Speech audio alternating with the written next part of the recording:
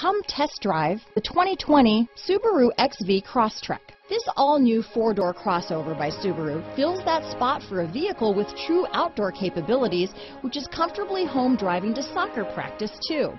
The all-wheel drive XV Crosstrek pulls in the best parts of the award-winning Impreza and adds the details to give this crossover a bit of style among a sea of boring.